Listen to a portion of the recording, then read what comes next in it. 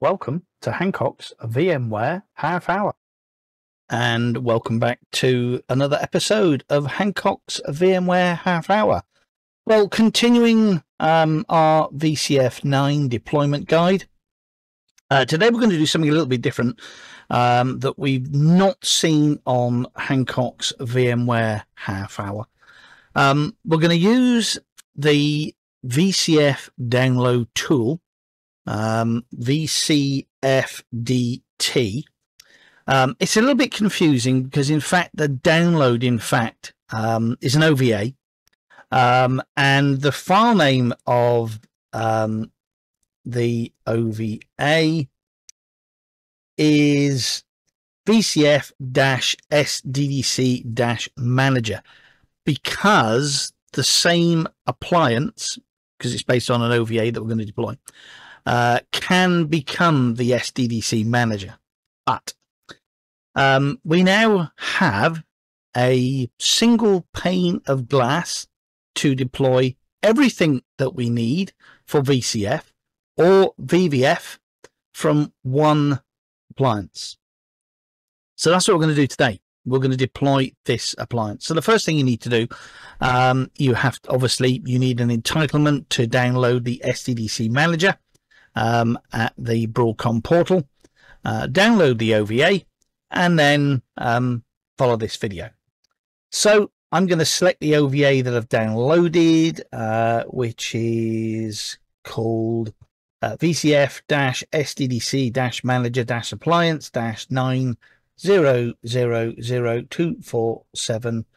VCF-SDDC-manager-appliance-90024703748.ova. And as I actually said, File name's a little bit confusing because it actually says VCF-SDDC. Um, all the documentation actually basically refers to the VCF installer. And uh, you go off trying to find the VCF installer. Uh, you click the link that says VCF installer and you end up with an OVA which says SDDC manager. And I downloaded it twice and it confused me. And it was only actually when I went back to documentation and looked to see that the OVA that I was deploying matched the description of the VCF installer. So let's just put that right because it's a little bit confusing. I think uh, they could have actually renamed the OVA VCF installer that would have made it perfectly clear, but it didn't. It's called VCF-SDDC Manager. And of course, we've seen the SDDC Manager before uh, in VCF 5.1, 5.2, etc. and 4. So I'm going to, I'm just going to click next. I'm going to choose the data store. Uh, now, this could be hosted on, I was going to say anything, um, but realistically, anything that can import an OVA and and, and run it.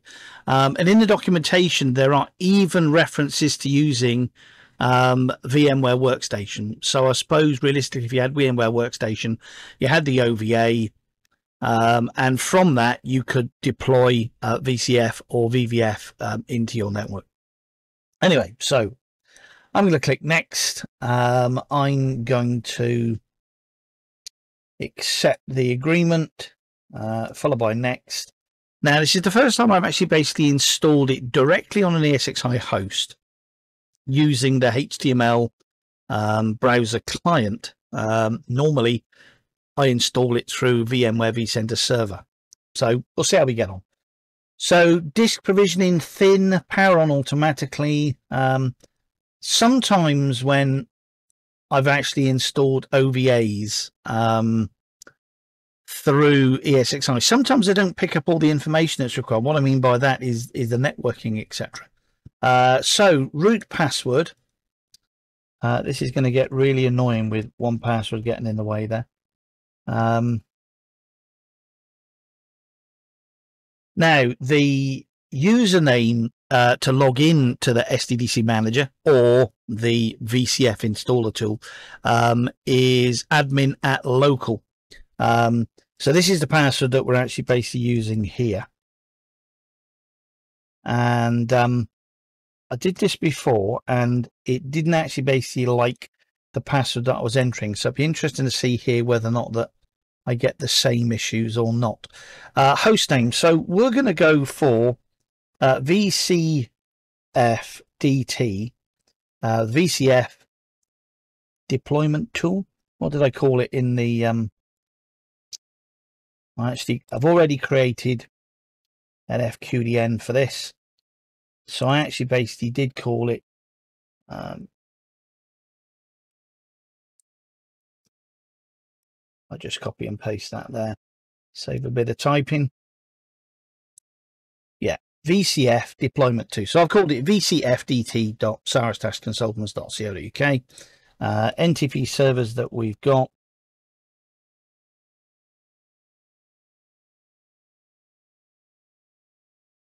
They look okay. One four two. Yep. Networking configuration. Uh, IP address one. So I've reserved an IP address for this static IP address.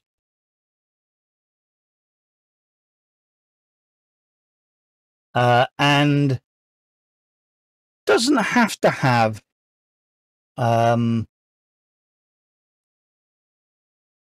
that's the DNS then that's the DNS search path. In fact, it's asking for a domain host name there, not a fully qualified domain. Um,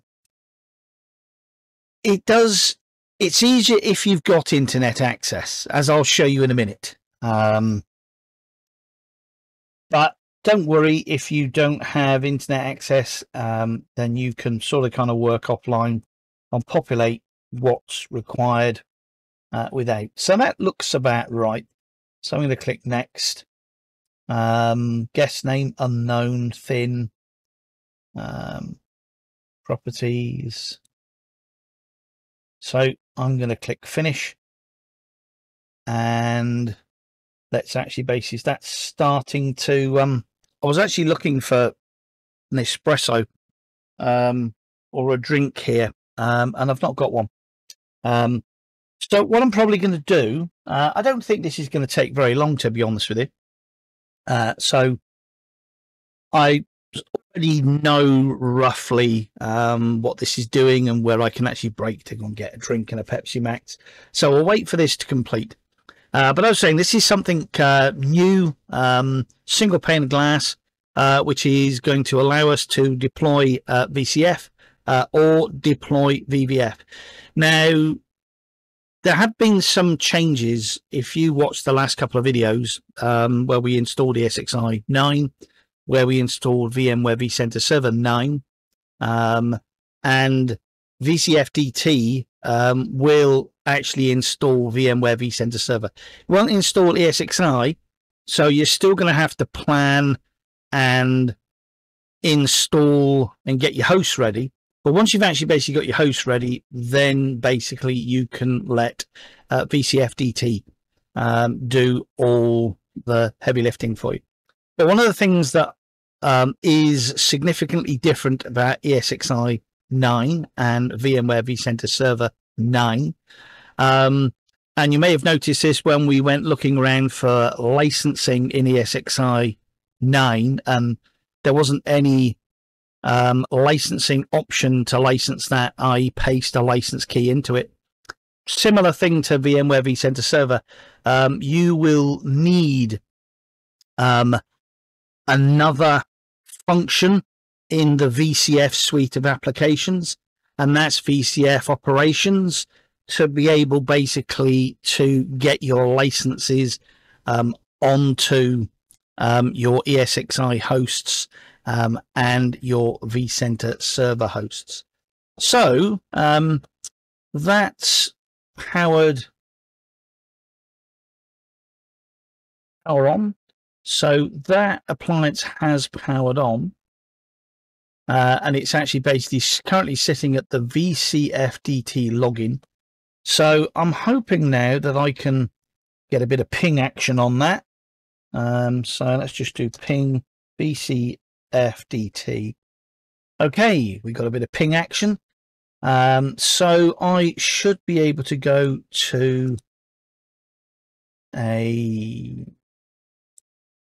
browser HTML type session. So let's just try this.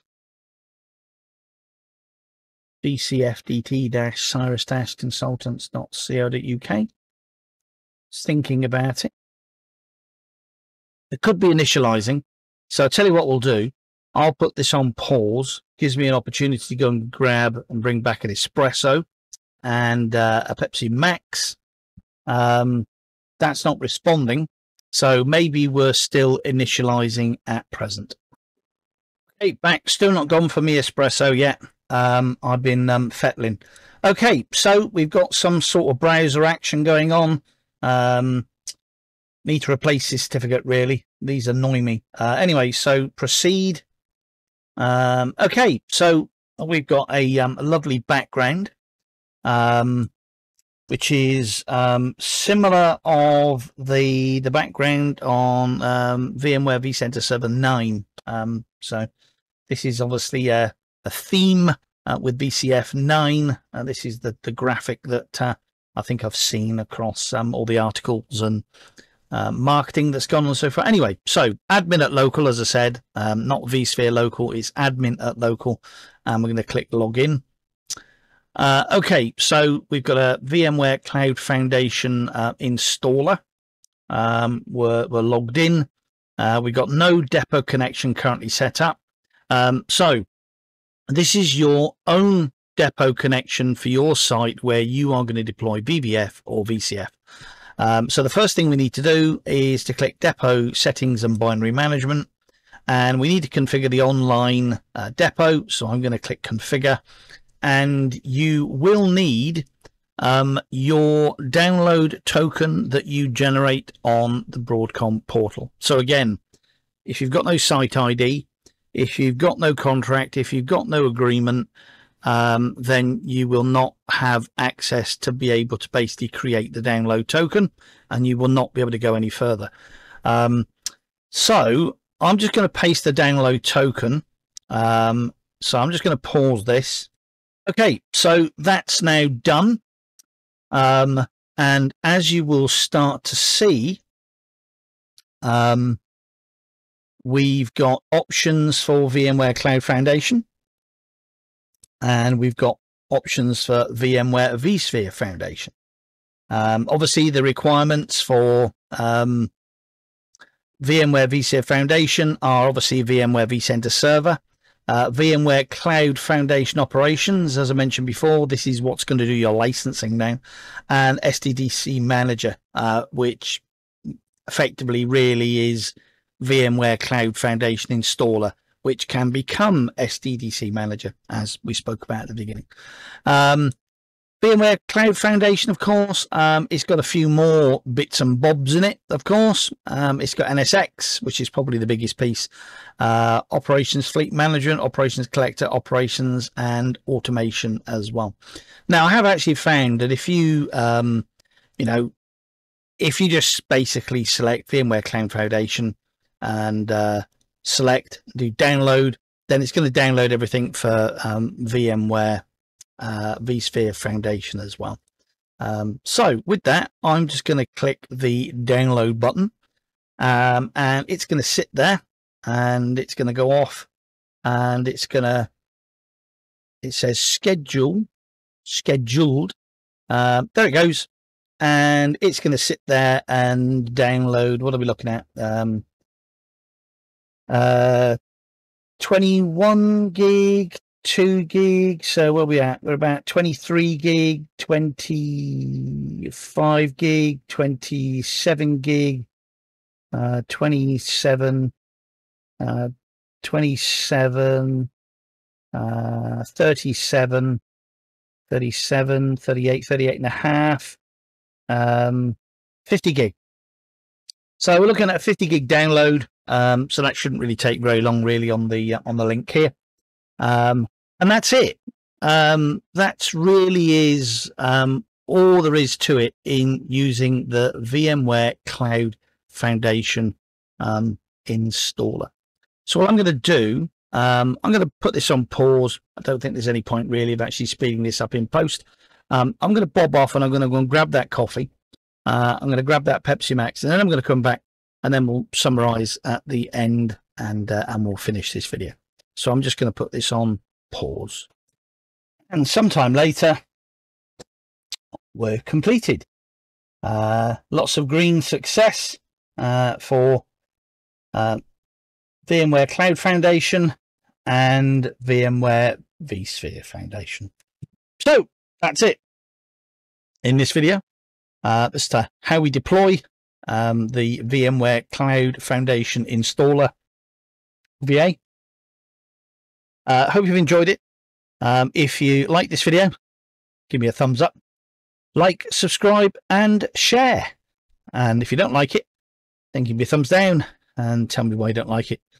Um, any questions about VVF or VCF, then drop them under the description there and that we can have a discussion about them. Uh, or drop them in the post uh, that I'll make about this particular video um, on release. Um, so again, thanks so much for watching another uh, video in the uh, Hancock's half hour, uh, Hancock's VMware half hour series. Um, my name is Andrew Hancock. Um, so uh, good afternoon and and goodbye, and see you again in the the next video for our VCF nine deployment. Bye bye.